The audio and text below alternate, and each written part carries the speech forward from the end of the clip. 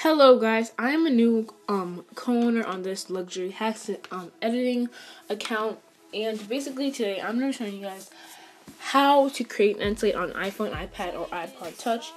And basically the apps you will be needing are Phonto, iMovie and Vont. And all these apps are free in the App Store.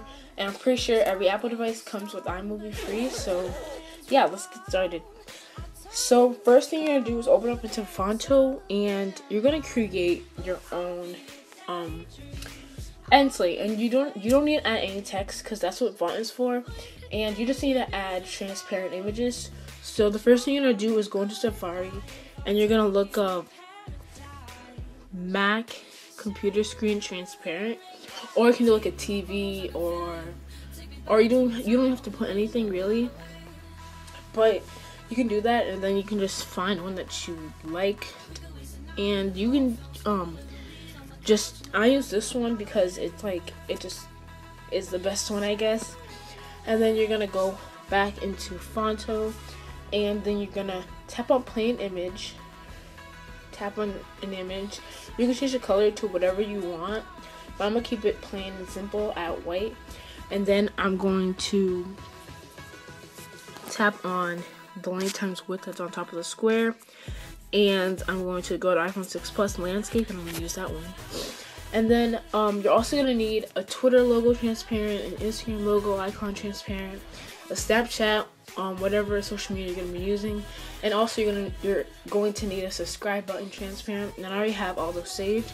So you're going to go to add image and I'm going to add an image of the Mac and um, you don't have to add any text yet. Um, so you're just going to make it to a reasonable size, put it where you want to put it, and then you're going to add the subscribe button and the Twitter logo and the Instagram logo. And um, you can just put it wherever you want really. It doesn't really matter where you put it just. And then I'm gonna add subscribe button somewhere. And then basically you have your thing. Um, so once you're done, you're just gonna save the image, and then you're gonna go into iMovie, and this is basically where you can like create. You can make it turn into a movie. I mean a video. So you're gonna tap on it, and you're gonna um, go to photos, and you're going to just open the one that you just recently created. And you're gonna make sure it fits the whole thing and you don't want it to like not fit. So I'm just like sizing it so that it doesn't move and just stays in place. And then you're going to save that. And for sake of this video I would save it at 4k or 1080 but for sake of this video I'm just gonna do 360 because I know I'm not gonna be using this end and then you're gonna go into the app Vont which is free in the app store and you're just gonna load the video that you just made in iMovie. And then since Vont lets you add text to your videos, so you're gonna like put in your social media. So I'm just gonna put in my Twitter, and you can pick whatever font you um, want to use. You don't have to use the ones I'm using. Um, so I'm just gonna type in my usernames.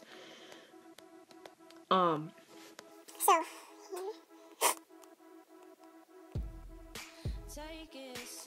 And then you can change the font and all of that. You can change it to whatever you want it to look like. It doesn't have to be the same or whatever. But then once you've done that, you can add um, transitions from when you want the video to come in or the font to come in. I mean, so you tap on the the text, then you tap on that arrow that says none at the bottom of the screen, and then you can just make it slide in, and then it just you can choose whenever you want it to come in and then it just shows up and it's really cool to do that. So i would do that and then you just save it again and then you go back into iMovie and you're gonna need to open that movie up and create a new movie for this and then you're gonna open the movie and then make sure it's not moving. I don't think it's gonna move and then you can just add another um, video in the box and you're just gonna say, import another video and then you're going to tap on the um, those four arrows on the side of the screen, and then you're just gonna zoom it in to wherever you want it to be. So it shows you like moving and all that stuff. So it's pretty cool. So that's how you make an on an iPhone, iPad, or iPod Touch. Hope you guys like this video. And do not forget to subscribe to the channel. We'll be making videos a lot. So yeah, stay tuned. Bye!